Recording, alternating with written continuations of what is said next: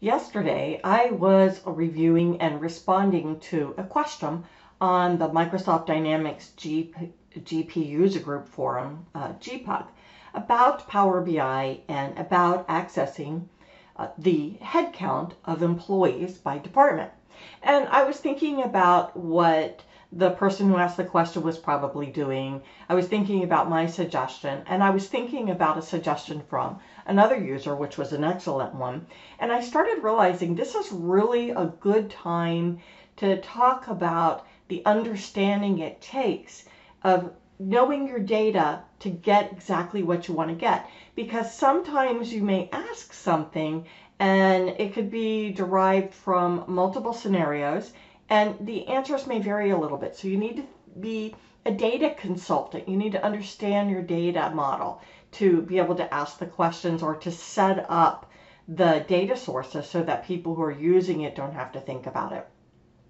So in this case, I'm going to show you this example is from Dynamics GP, but it could be from anything. So if the pay if payroll employee count doesn't apply to you, think about it as customers or prospects or leads or whatever you may want to count in your organization and the fact that it can come from multiple sources. There are three different ways that you could obtain headcount in Power BI from the GP database. And the first one is from the employee card itself, which is where we just maintain our employee count. The second one would be if we utilize the unit accounts from the general ledger. The third one is from the payroll transactions or checks themselves. So let's take a look at the three of these. Now this is the first in a four-part series that I'm doing in uh, doing on this. The second, the third, and the fourth part will be showing specifically how I created these visuals from these three separate data sources. Let's start with the employee card. So this is one where I just went and got from the employees, and I think this is what the person who asked the question was doing. And this is always going to look at the employee count as it exists at the time of the refresh. So if I refresh this today, and today happens to be January 28th, then it's going to show me what the employees look like as of January 28th. Now, there are some pros and cons to each of these, and I want to talk about what those are now so that this is why you understand why being a data consultant is important. So if I'm looking at the employee count, so I have all of my departments listed here and how many employees are in each one. And again, I'm just looking at the payroll card. There's a couple things I want to take into consideration. It's like, and, and this would be true of all of them. When do I want to count my employees? So when do I want to know how many employees I had in the month? Do I want to know on the last day of the month? Do I want to know in the middle of the month? Do I want to know how many employees I had active during the whole month? I need to know these questions.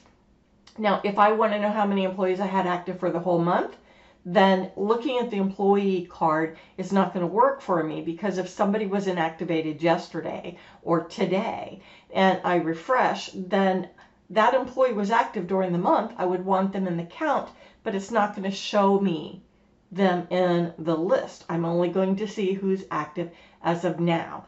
Also, in the case of GP, and this is GP specific, but I guess it could apply to everybody. If you're looking at some kind of maintenance record or master record, typically you have default information in. So I'm just looking at the default department. So if somebody's split between departments, then I'm not going to see that split here.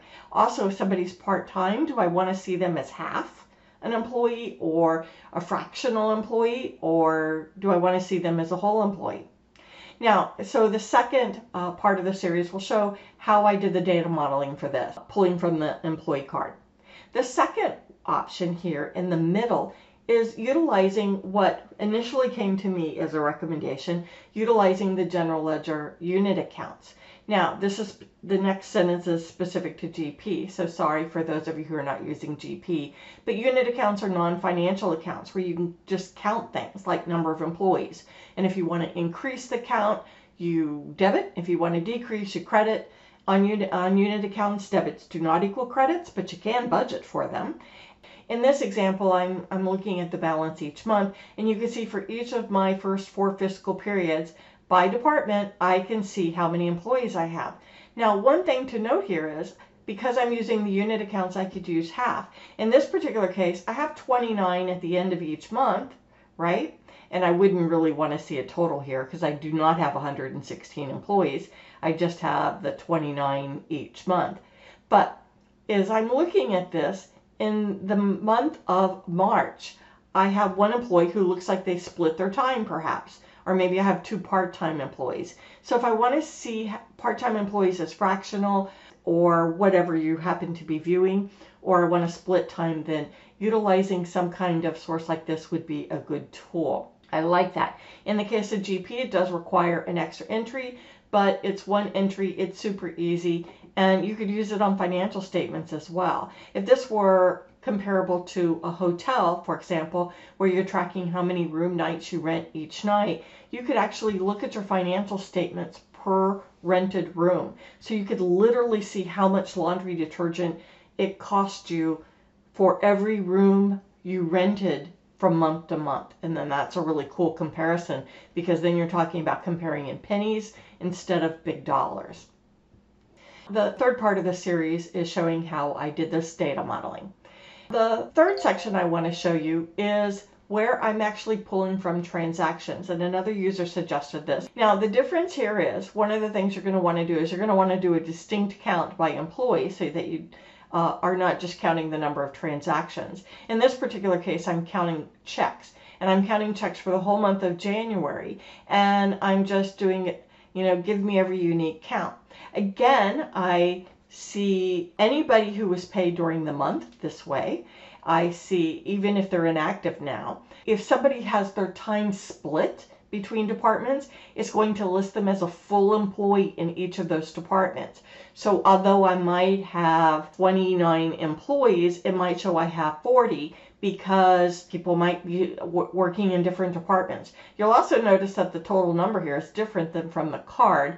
That means that we have someone who's active that just didn't receive a paycheck. And then the question is, would I want to count that employee too? So that's something worth thinking about. And in the fourth part of this series, I'll show you how I did this data modeling.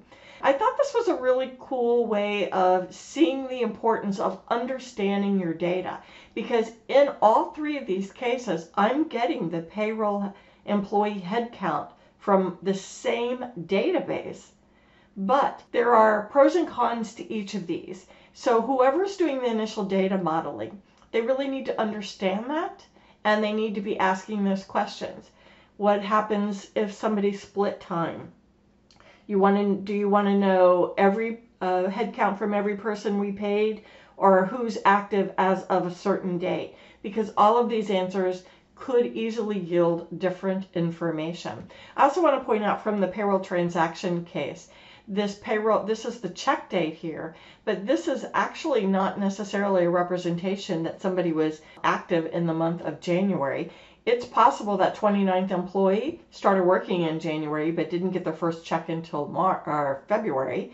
It's also possible that somebody who is was inactive for the whole month of January worked the last week in December, so now they're getting paid in January. So you need to think about all of these things. So stay tuned for the next three parts, and as always, I hope this helps.